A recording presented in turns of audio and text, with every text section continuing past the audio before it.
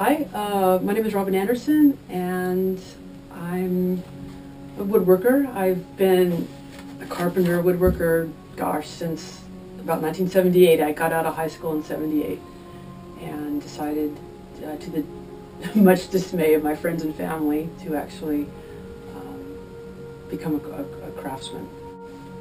Um, so at the age of 17, I went out on the road, and basically, it's funny, is because that's the uh, the term journeyman carpenter actually comes from one who apprentices as a carpenter and then goes on a journey and travels to various towns and states, and that's how he be- becomes a journeyman carpenter by traveling with his Okay. trade. So I, I did that. I traveled all around the U.S. up till I was about 24, 25, and then settled into a shop and doing woodworking in San Luis. I love to make beautiful things out of nature. I've always been inspired by by nature when I was a kid. While my friends are out playing, I'm like looking at rocks on the way home from the bus stop. I'm bringing home sticks and leaves and rocks. My pockets are always full of stuff. So Oh, yeah. now I just love to live with nature. Um, so I do, you know, woodworking, architectural millworks. I do a lot of willow. I used to live in the Sierra Nevada, and I harvest willow, sustainably harvest willow, and make chairs, furniture, stools. Oh, and these are things I love. So I do these things. It's I, I, I, call the series series No More Wood, but K N O W. So people like No More Wood. So let's just say, for instance, this is a piece of sycamore that I found in a throwaway pile, and when I saw it by a dumpster, I just went, "Oh, look at her!" I mean, this is like a beautiful woman. Her arms are up. You can see her body and her hair, her belly, her breast. And then even if you turn it around, she has a back.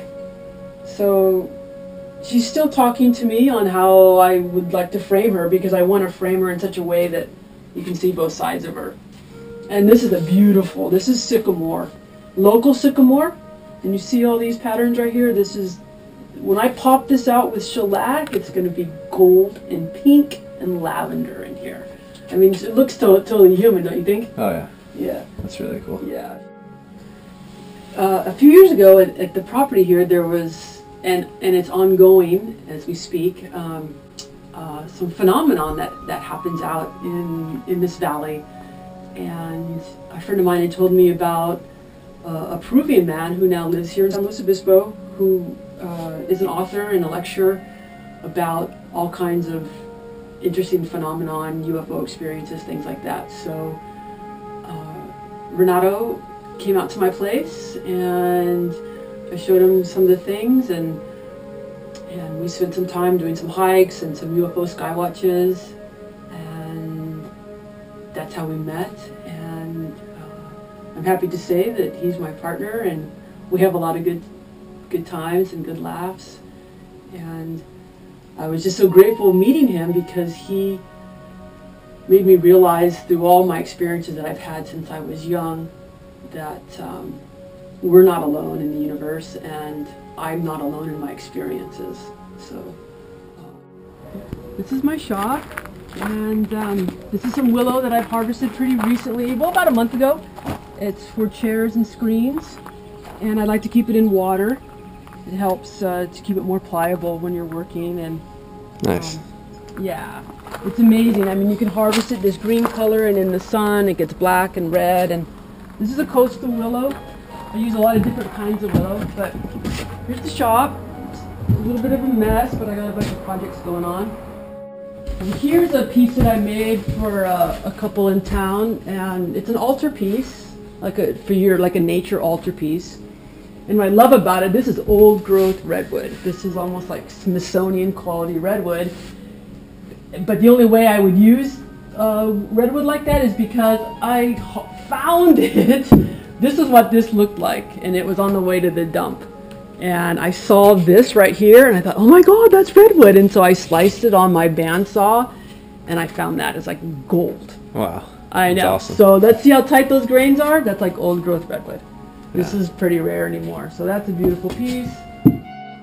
Yeah, so this is a hand plane. Um, they've been doing it like this for thousands of years, and I went to an amazing school. I studied under Master James Krenov up in Fort Bragg, and the first thing they teach us is to make our own tools before we start making furniture. So um, this is uh, Purple Heart and tulip wood. I decided to make like a girl plane, you know, I thought it was pretty funny. And so basically, you know, you just use these planes to uh, needs to be set a little deeper. What you do is I just made this little hammer. You set your iron a little deeper, set your wedge, and you're back to work. A little deeper cut. And some of this is the some of my favorite things about woodworking because you really get like this intimate kind of relationship with your tools and your wood. Well, the last thing I love to say is I feel so grateful to be a part of Lightshare. So you guys are a, a beautiful surprise in my life.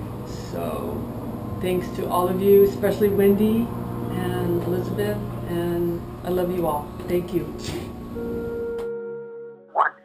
Because I really want to teach people that they're spinning stars, right? That's kind of like really what my passion is, is, is, uh, is that spreading the, the divinity, right? Spreading the light.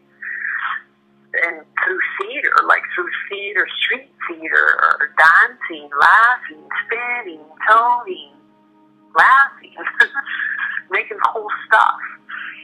So um, maybe you can just record all that.